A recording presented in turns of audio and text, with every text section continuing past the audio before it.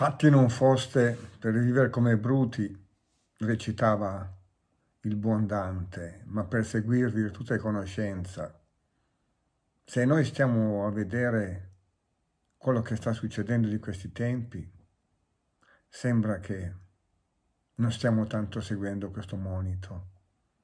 Sembra che le contraddizioni in seno alla società stiano esplodendo. Io personalmente devo ringraziare il governo, le istituzioni, il Parlamento nella sua interezza, visto che tutti quanti hanno votato questa, questa legge con la quale obbligano i sanitari a vaccinarsi.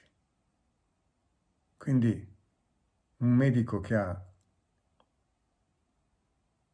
da 40 anni svolge la sua professione, avrò visto migliaia e migliaia di pazienti, forse in più di 40.000 ore di lavoro clinico, credo di aver svolto e di stare svolgendo la mia funzione secondo scienza e coscienza. Ma se non mi vaccino sarò sospeso dall'ordine. Ci sono, no, sembra, due posizioni che si stanno confrontando, che poi sono i dualismi che accompagnano l'umanità, probabilmente da, da sempre, sono due posizioni archetipiche. Lasciando fuori un po' le teste e le code, lasciando fuori come per fare la grappa, lasciando fuori gli scientisti a tutti i costi, gli scettici ad oltranza, i razionalisti più incalliti e lasciando fuori i negazionisti complottisti dall'altro lato. Troviamo però due posizioni che si confrontano. Chi è così contento di fare il vaccino e non vede l'ora di farlo e è soddisfatto e si sente sicuro quando l'ha fatto e chi non vuole assolutamente fare il vaccino per i motivi più svariati, perché ne ha paura, perché si sente inquinato,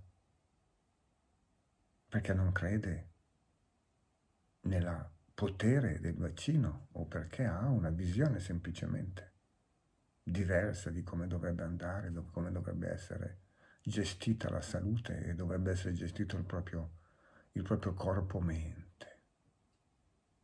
Quindi sembra che la questione sia vaccinarsi o non vaccinarsi, rispettare le regole oppure no. Ma questa è solo l'apparenza. In realtà c'è una pandemia ben più grave, ben più profonda e radicata, che se noi andiamo a vedere, e come vedremo, ci accompagna senz'altro da secoli, forse da millenni la pandemia emozionale. Una pandemia pervasiva, una pandemia che passa attraverso il comportamento delle persone, della normalità. Ma la vedremo tra breve. Intanto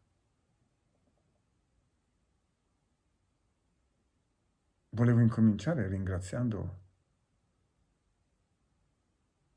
i politici, gli scienziati, il comitato scientifico, l'Istituto Superiore di Sanità, i virologi presenzialisti, la Regione Lombardia che mi ha intimato questa no? mi ha intimato di vaccinarmi, favorendo così queste riflessioni che hanno dedicato, alle quali ho dedicato l'ultima settimana della mia vita. Riflessioni che hanno portato a intuizioni. È probabile che alla fine il pensiero dominante, il modello razionalista e riduzionista della nostra scienza vincerà la battaglia. Sta già succedendo, no? Il virus sta già calando la sua forza e già ci si sta attribuendo il merito, si sta attribuendo il merito ai vaccini, quantomeno un'operazione dubbia. Però senz'altro la medicina, la scienza e la politica vinceranno. Ce la faremo, sì, ce la faremo e torneremo alla normalità. Ma io vedo questo come una vittoria di Pirro. Il pensiero, il pensiero dominante. La nostra società razionalista e materialista sta perdendo un'altra opportunità la vedo andare dritta verso una cocente sconfitta. Stiamo perdendo l'opportunità. Potremmo dire che il virus stia continuando indisturbato, la pandemia stia continuando indisturbata a traghettare subdolamente l'umanità verso, verso il cosiddetto transumanesimo. E non uso qui l'accezione coniata da Teilhard de Chardin e ripresa da Gillian Huxley per indicare lo sviluppo delle potenzialità umane, ma nell'accezione di Robin Hanson o di coloro che hanno scritto il manifesto contro il transumanesimo, per il quale le nuove tecnologie e la combinazione tra razionalismo e emotività ed emozione, per i quali la confusione tra emotività e irrazionalità ci sta portando un punto nel quale i nostri discendenti vivranno in simbiosi con la tecnologia. Probabilmente si rischia anche di perdere quelle che sono le caratteristiche più genuinamente umane. Vi leggo il manifesto del transumanesimo. Vi leggo ciò che coloro che hanno scritto questo manifesto, che sono tutti scienziati accademici, professori ordinari, alle varie filosofie tendenzialmente del mondo anglosassone, Vienna, Londra, Oslo, Oxford. Il culto del transumanesimo perseguita l'Europa e il resto del nostro pianeta. I suoi sacerdoti vivono in alcuni dei più importanti laboratori di ricerca e di università, nelle grandi cooperazioni e nelle istituzioni politiche. Il transumanesimo è una prospettiva negativa sulla natura umana, unita a una visione tecnico-scientifica che immagina il come dovremmo migliorarci. Questa prospettiva è sostenuta da una credenza superstiziosa nella scienza come salvifica tout court e da un astratto disprezzo per la nostra natura umana.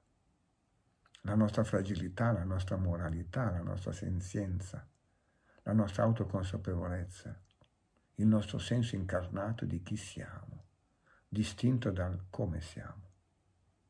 I transumanisti coniugano l'emotività con l'irrazionalità il potenziale dormiente con la stupidità e la disabilità con la discrepanza. E come risultato di questo confuso approccio promuovono e spingono verso un futuro che ciecamente annuncia reti onnipresenti, geneticamente ottimizzate e guidate da computer in cui esseri umani, presumibilmente fallibili, sono manipolati e potenziati da un macchinario invisibile, presumibilmente controllabile, ottimizzabile, guidato da robot intesi quali il prossimo stadio di apparente evoluzione per l'umanità. Non ci stupisce, non siamo tanto lontani, no? Non siamo tanto lontani. E guarda un po', la pandemia viene come se venisse e bussasse alla porta, un po' come la livella di Totò. Viene e ci dice, Ok, dove sei? Guarda.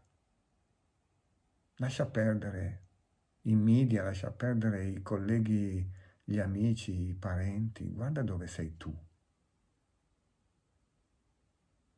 Come pensi di passare per questa strattoia?